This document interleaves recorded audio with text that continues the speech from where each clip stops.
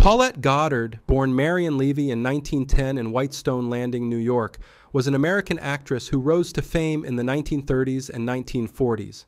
Her breakthrough came with her role in Charlie Chaplin's Modern Times, 1936, where her charm and vivacious screen presence made her a star.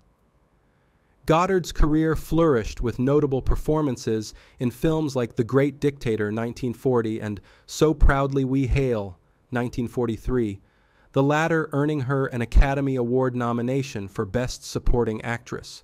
Known for her beauty and talent, Goddard was also admired for her intelligence and was a savvy art collector. Her marriage to Chaplin and later relationships with notable figures like Burgess Meredith and Erich Maria Remarque kept her in the public eye.